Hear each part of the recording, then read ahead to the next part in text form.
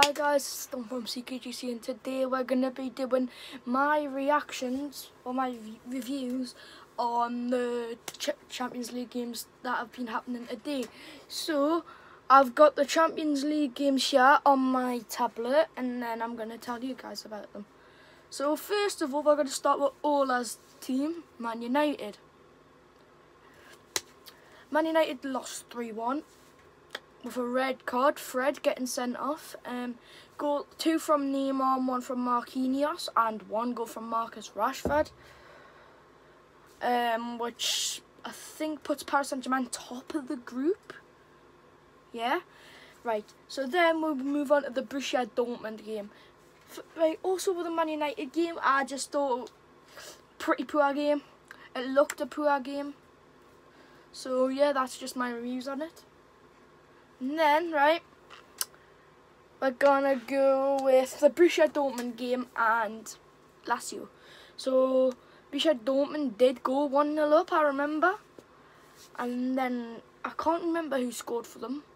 But then I know Ciro Immobile scores for Lazio, Lazio to make it 1-1 and Afsir well deserved draw for Lazio and good points especially at Dortmund, especially in Germany, from all the way from Italy. That's a like, they're from Italy. Dortmund from Germany. You go to Germany, I feel like you would take a point. Then we go to Fenerbahce, Vacaros against Barca. Sorry, I hate this tablet because it all like you know when it starts to go like it goes dull when it's gonna go off. I hate it. So Barcelona win 3 0 I think Barcelona should be absolutely destroying them. I mean, I'm not underestimating the team because they're from a like, a, not a major league. Like that's not because that's not why I'm underestimating them. It's just because Barcelona is one of the biggest teams in the world and they have been for a while. But I feel like Barcelona are starting to fall off a cliff. Same for Real Madrid. Anyways, Juventus win 3-0 against Dynamo Kiev. I was going to say that Juventus should absolutely destroy Dynamo Kiev, but then Dynamo Kiev are a good team, right? They're not a bad team. They've done so many upsets on big teams. So, I mean, if you were a Juventus fan, you would take a 3-0 win there. And, um, yeah, I feel like that's a well-deserved 3-0 win. And then after this, we're going to go on to my Europa League predictions. Club Bruges get a 3-0 win against Zenit Petersburg.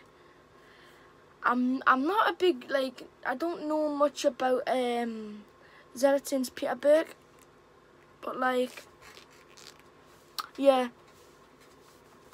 Zenit Petersburg and Club Bruges I don't really know much about. I just know Zenit Petersburg. I don't know what league they're from.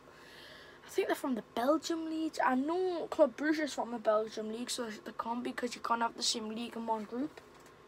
But anyways, yeah. In an absolute destroying for Sevilla by Chelsea. Four goals from Olivier Giroud though. You know, man, man hasn't played in like so long, right? He comes off the he comes off the bench normally. They start him and he scored four goals in the Champions League. What can you ask from him? The man's getting old. He's won a World Cup, so like you can't ask much more. Right. So now we're gonna go to the Europa League fixtures for tomorrow. Wait then, no, I'm not gonna do that at all. What we're gonna do is we're gonna go to the Champions League and we're gonna review the tables. No, I don't want to keep going there. I want to go there. Anyways, so we've got Group A, and Group A is a good group. We've got Bayern Munich, Atletico Madrid, RB Salzburg, and Lokomotiv Moscow.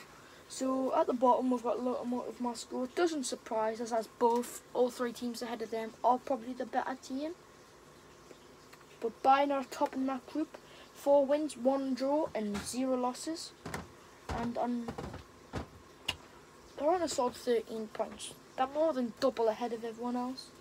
Second is an Atletico Madrid team who are basically got like they should them two should definitely be top two.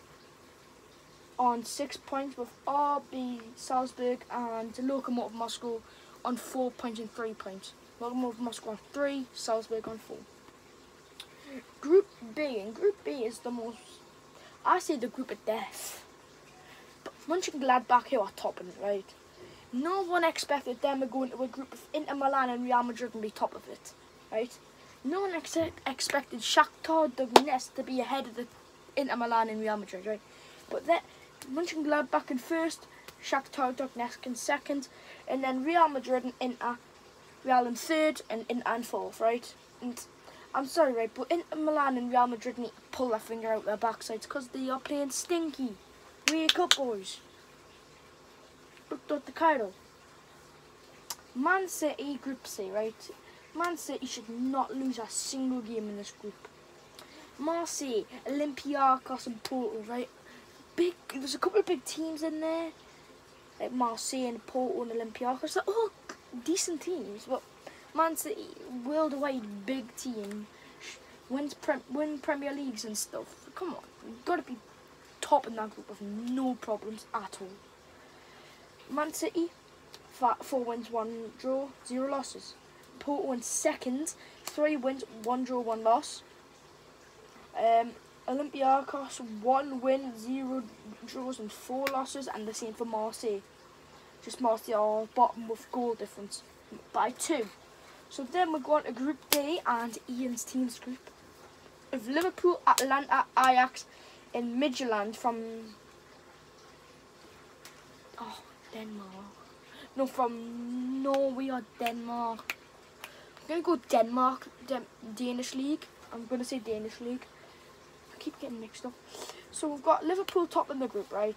Liverpool should just top that group. There's no problems. Atalanta, Ajax, Midtjylland, they're, they're all good teams. We can't take that away from them. But Liverpool, best team in the Prem. They should be absolutely trashing on teams. Which they have. But the Atalanta loss, they've done well. Deserve the top spots. With Atalanta on second, beating Liverpool 2-0.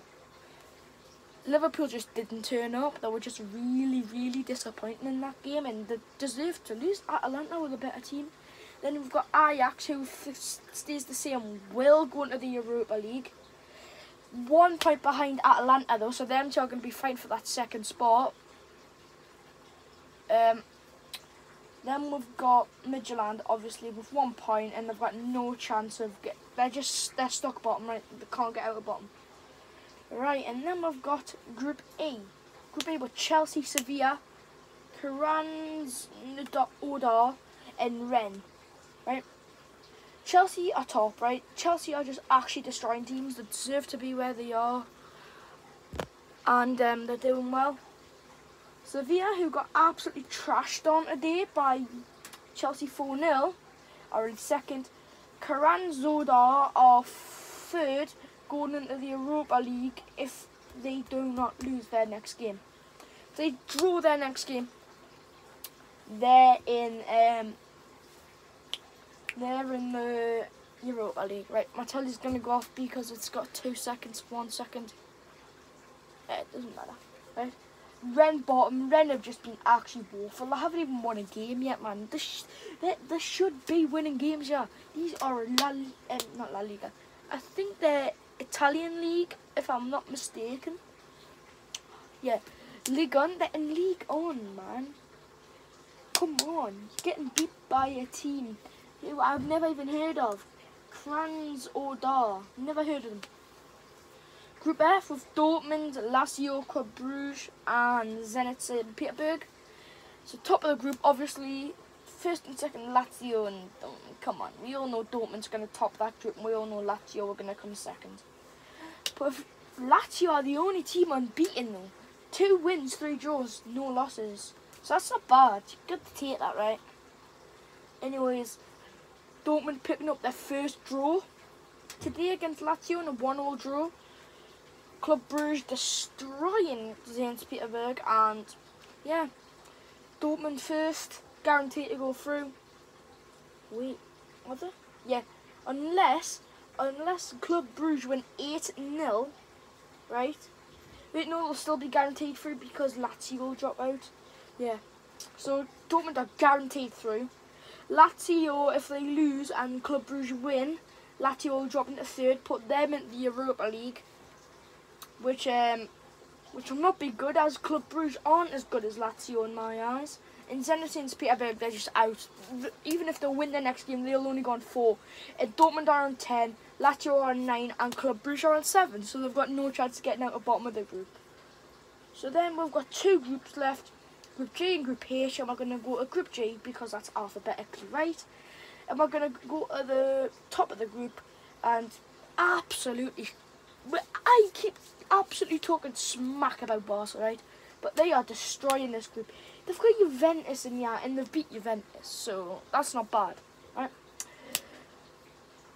Barcelona 5 and 0 and 0, right? They haven't drawn a game, they haven't lost a game, they've won all five, and they're on 15 points out of a 15 point possibility, and in top of the group. Then we've got Juventus. Off. I'm off. I'm doing it in a video. Go. Come and do teeth. I'm. Right, sorry about that. And then we've got Juventus in four in second, with four wins and zero draws and one loss. Dynamo Kiev in third, going into the Europa League spot if they do not lose more than two 0 And for Ferran, I can't say their name, but the one that Barcelona beat 3 0 today, are bottom, tied on points with Dynamo Kiev but Dynamo Kiev are winning by one goal difference. So if that's, everything stays the same, that'll be it. So we're going to quickly go through the Group H. Paris Saint-Germain go top with the win against Man U today, which puts Man United in second, RB Leipzig in third, who won also today. And Istanbul are last, no chance of getting in anything. But if you believe it or not, Paris Saint-Germain, Man U, and RB Leipzig are all on nine points, just goal difference separating them. So anything can happen in the final games of them. But that's it from me, Don. I've been your host. Thanks for watching and hope you guys like it. Peace.